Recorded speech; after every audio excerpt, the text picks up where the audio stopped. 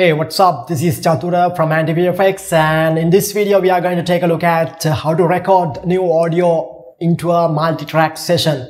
Right, so we are going to create a new multi-track session inside Audition and directly record Audition, uh, sorry, directly record audio into a multi-track.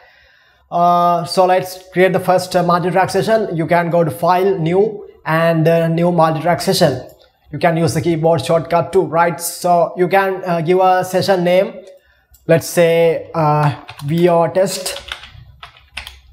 And you can select a folder right? So all the recorded files uh, inside into a multi-tracks uh, will be stored here. So select a folder here based on your requirements. In here you have option to select templates. Uh, you can see uh, 24 track music session, film sequence, surround, film sequence, stereo, podcast. Uh, those are predefined template with certain tracks and certain EQ effects. You can use uh, those uh, templates uh, based on your work. But in here, I'm going to create a select none and it will create uh, default uh, five tracks multi-track session and I'm go with that option here you can select the sample rate. Uh, you can select uh, 48 or 44 kilohertz. So 32 bit, uh, that's the best quality. Select always go for that bit depth and you can select whether you want to final mix master or final mix into a stereo or mono or 5.1 track. So select the master track here. So I select stereo. I click OK. Now you get this uh, window and this is the multi-track editor inside Adobe Audition. You can see there are multiple tracks, right? So track number one, two, three, and uh, you can scroll down and you can select, see the master track here.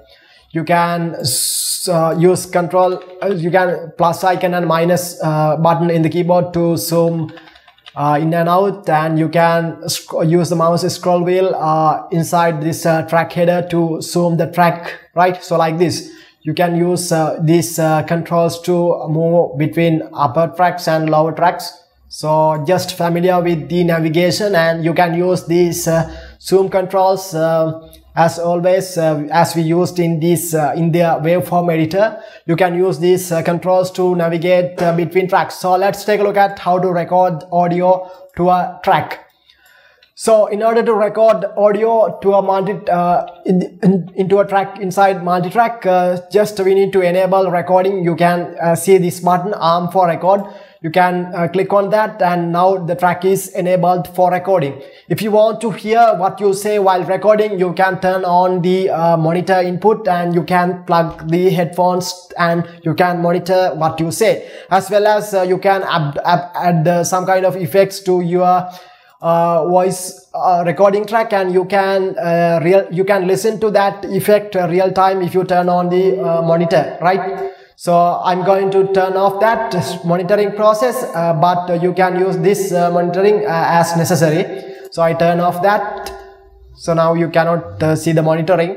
So I remove this uh, dynamic effect, right? So now we have turned on the track for recording and you can use this start record button here as usual to start the recording okay now we're recording into this uh, multi-track session and you can see the audio is recording. Once you finish use this uh, stop button.